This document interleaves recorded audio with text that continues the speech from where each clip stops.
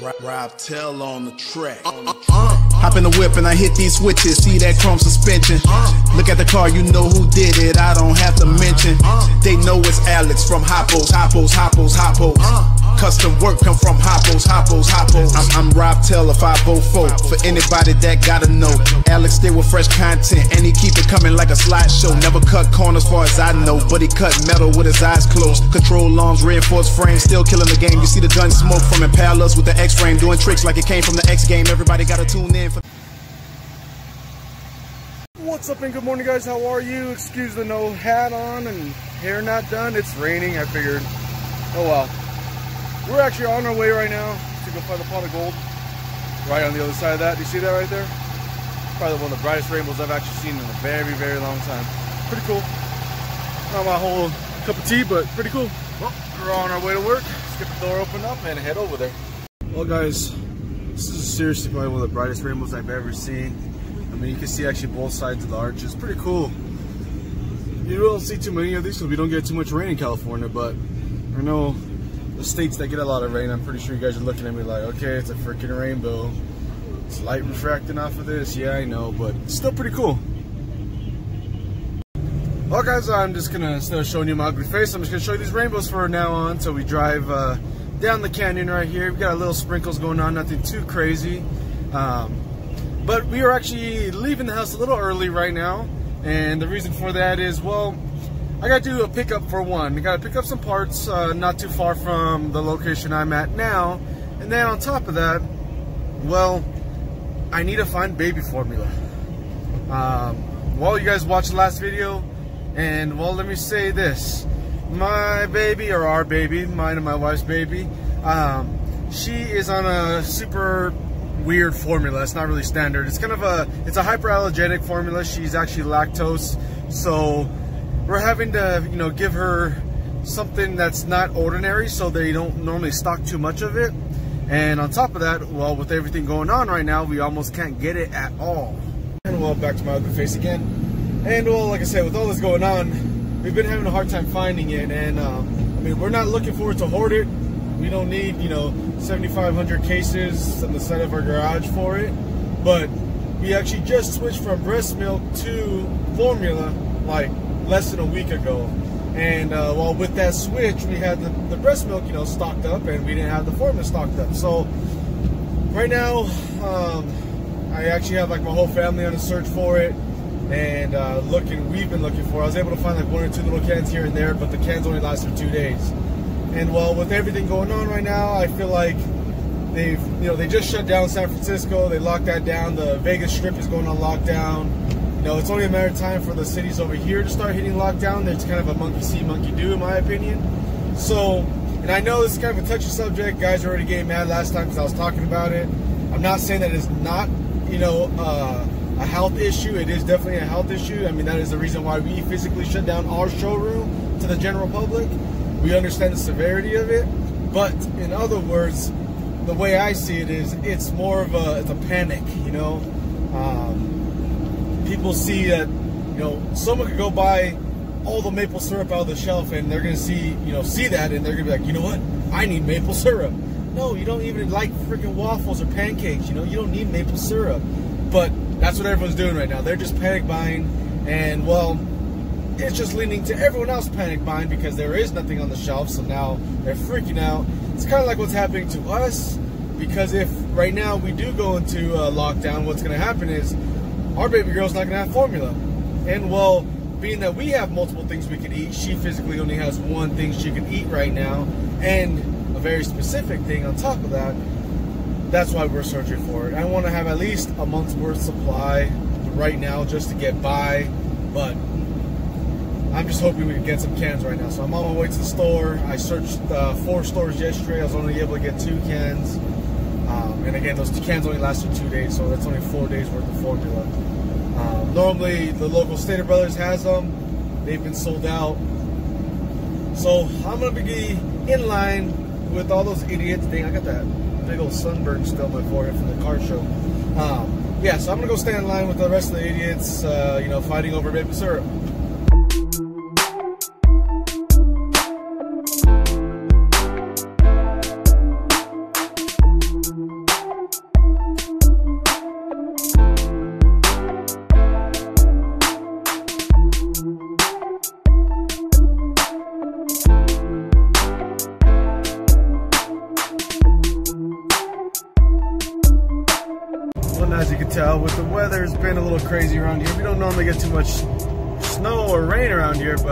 See last night we got some snow locally by us. Uh, I say locally by me, I should say.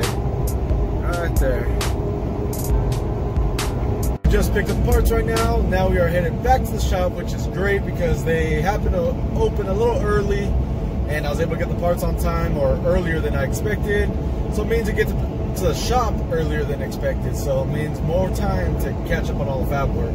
Um, I know there's a, order, a few orders for 65 wishbones, um, 58 to, or 59 to 64 wishbones, a lot of trailing arms you got to do to catch up on inventory.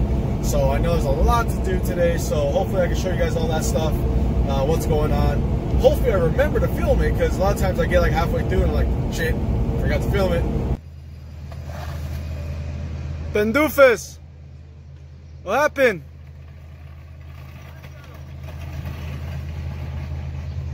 I pulled up right now and all the trash is on the floor. What happened? It fell on me. You don't fucking give me help. Just fucking videotape me.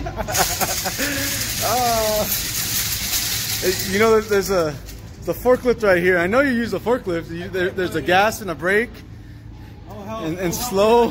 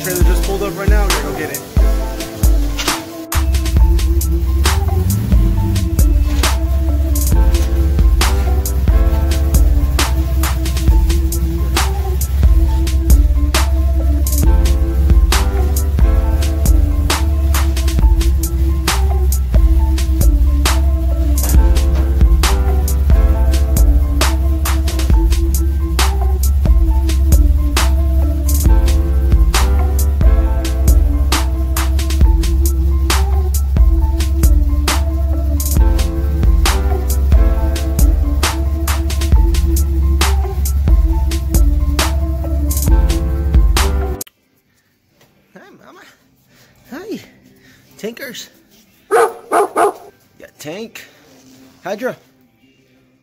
Hydra. Hydra.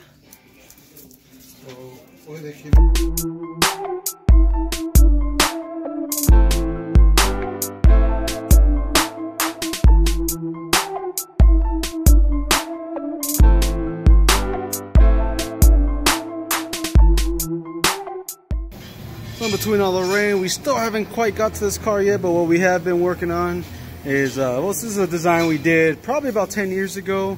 Um, it kind of just fell off. We never really did anything with it. Now we're bringing it back. Um, this is uh, pretty much, if you guys have ever had the issue with on a G body where you break the upper ears, being that they're casted into the rear end, um, what this does is this actually, you could cut off the, the ears, that way you can still utilize your rear end. You cut off the ears, and this is going to be a bracket that adapts into your rear end. And um, pretty much what this does here is it pushes back the, the mounting of the actual trailing arms, but it actually gives you a stronger surface to mount off of. So you actually have a total of seven bolts holding this guy on. Um, this thing is fully welded all the way around. And you could actually come up off the top off of for your brackets. Um, and again, this is going to be kind of a universal uh, to fix your issue with the broken ears. So you could actually uh, either build your upper control arms or extend them out if you have the, the length on them. And uh, you just make new brackets for the uppers here. And you could actually still run your trailing arms. Hey Vic, YouTube said don't drop this one like you did the last one. The last one was a trash. They said don't drop it. That's all. I'm just repeating the message. They're ruthless on YouTube, huh? They're so mean to you. Just like you. And well, we got the next project up real quick. It's a quick insert. It's a Bel Air logo. Uh, by customer's request and nothing in the center, just a trim. Uh, what we're doing is uh, we just cut this up and he's using it for uh, insert, using it for an insert for upholstery. So we gotta put some studs on there real quick so we can mount it and uh, pretty much get it shipped out. This one's gonna be uh, done. Then we're gonna move our way onto 65 Wishbone again, and then hopefully from there we can sneak in that beautiful 57 that's peeking through right there. And once again, guys, the rain has continued. God, see, this is what I have to deal with every day. Hey, that's right. Go to your dungeon. See, guys, that's what I deal with every day with Vic. You just gotta order come in, pallet load of boxes. Um, I'm gonna have to close this door up because normally the water comes in sideways because of the wind, and I don't want it to wet this car. So we're gonna have to close this up temporarily, shut down the back real quick. The good part though is the 65 wishbone's cut, another one. Um, this is like a third one this week, and dang, it's really coming down. Holy crap. Luckily I just put some new windshield wipers on, because the ones I have are falling apart.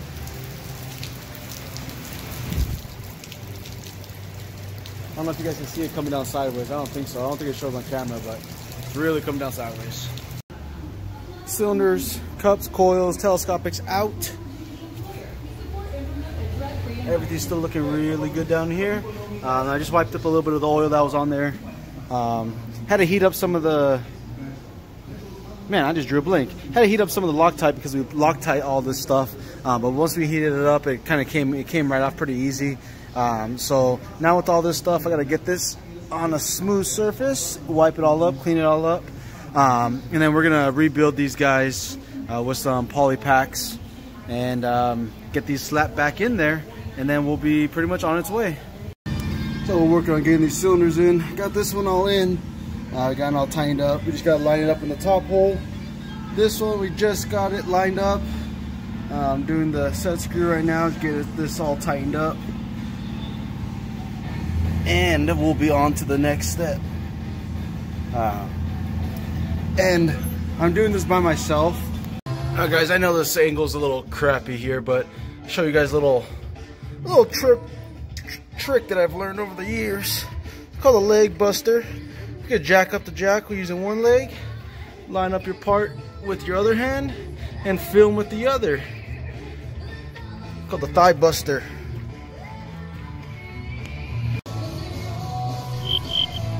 Yeah, that was awkward. So we're on the second stage of uh, figuring all the issues out. So it looks like someone got a little switch happy and uh, the back was a little overlocked. No big deal, um, it's just a shaft seal, but the oil did come through the motor. Um, here is the motor. As you can tell, it's leaking out all the oil out of there. I got to take fully disassemble this guy right now, clean out with some electrical contact cleaner. Uh, and I'll kind of show you guys how to do that as well as we go through. As we're outside, we're in a ventilated area right now. I'm going to show you guys our really high-tech cleaning station for these motors. See, now this is world-class cleaning. Um, all right, guys, I'm just kidding. It's just a freaking piece of channel flipped upside down. I'm going to show you guys. We're just going to pull the motor apart real quick. Um, hopefully I can do this with one hand.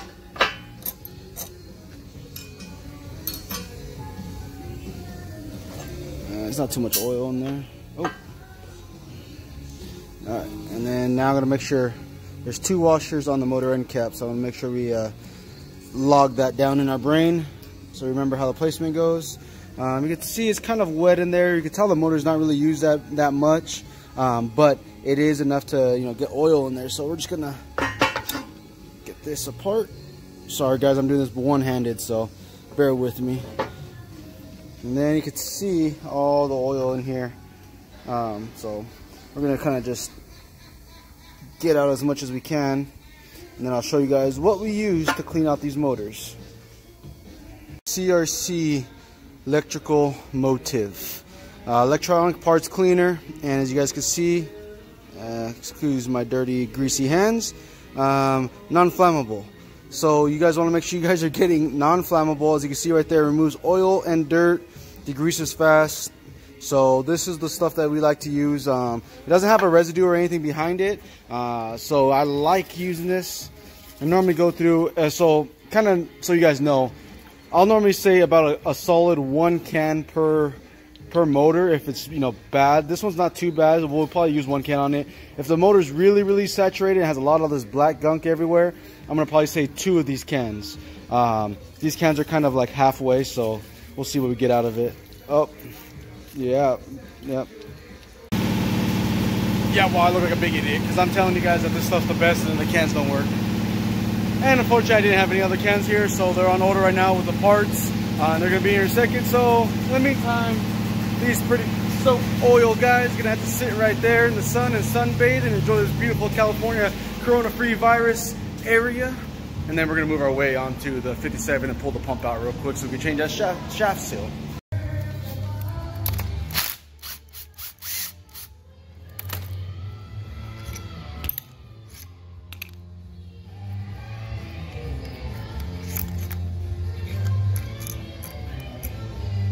Excuse me. okay, guys, so the funniest thing just happened right now. I mean, funny, but not really funny. It's one of those things where it's like, it's funny because I know I'm not sick, um, but the parts delivery guy came to the side right now. We got the CRC here, and well, as he came in, uh, they opened the side gate for him to come in, and as he's walking in, I'm sneezing, and the guy kind of stopped at the door, like frozen his tracks, and then she's like, he has allergies, I swear. oh, I feel bad for the guy. I mean, I, I'm not sick, but just saying, I always have natural allergies, so I sneeze all day. But it was really funny to actually kind of catch that on there. And well, we're back to the high-tech cleaning station here. So we got the CRC, it's the same thing. Um, quick drying, plastic safe, you know, all that good stuff. And we're just gonna saturate and soak this guy. What you wanna do is get all the oil contaminants out.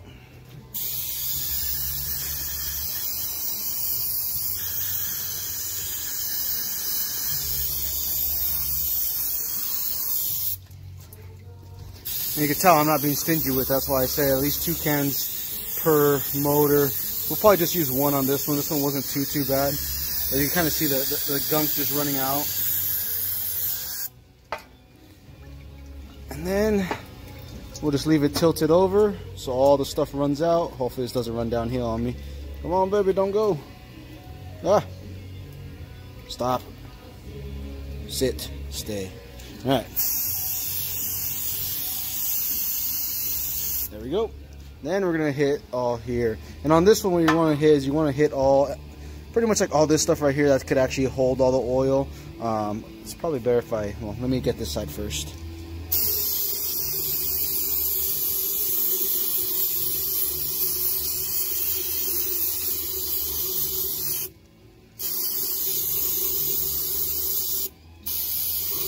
Alright, so that is clean flip this guy upside down. Ah, don't roll. Okay. Come on, man. Do for YouTube. Stay there. So this is where this soaks in the most oil. Um, and this is normally what we see catching on fire. Um, so you want to get these really, really cleaned out.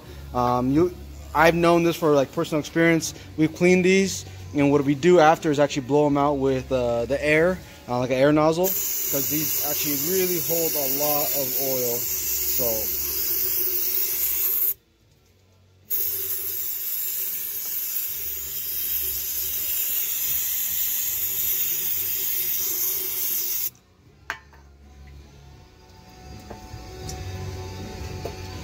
All right, and I'll probably just do this one for fun.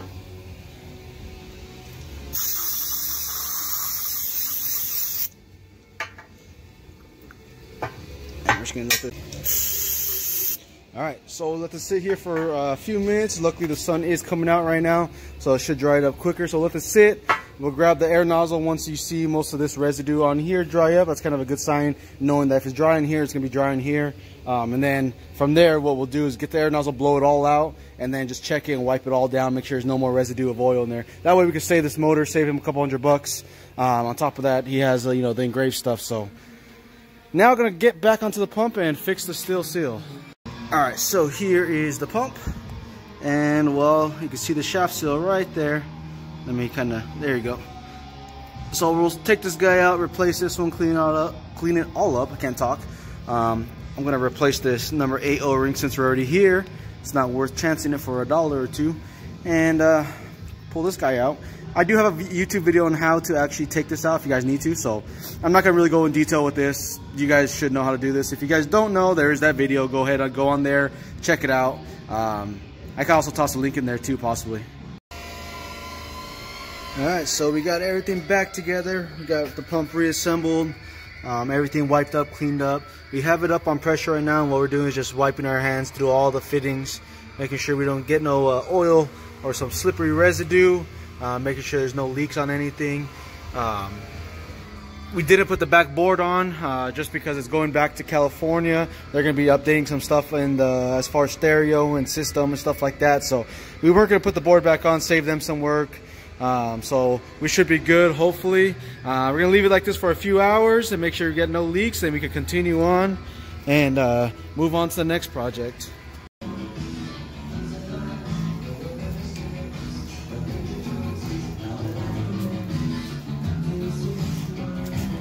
Man himself.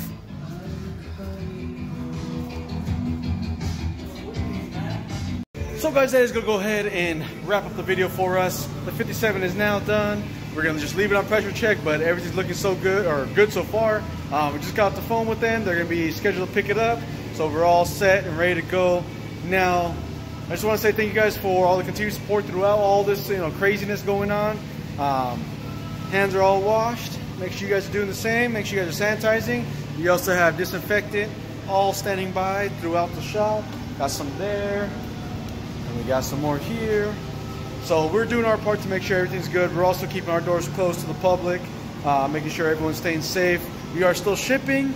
Um, we are, our website is still open, is fully active, and is actually, you know, got a whole bunch of orders coming through. So make sure you guys jump on it. If you guys can plan to be at home for a while, give yourself something to do. Go in the garage, you know, stay safe, stay indoors, um, and work on the car, right? So head to our website, www.hopposonline.com. If you guys haven't already checked it out, make sure you guys check it out. Um, thank you guys for, again, all the continued support. Go onto our Instagram. If you haven't liked and shared, make sure you go ahead and do that. And uh, thanks, guys. We're out.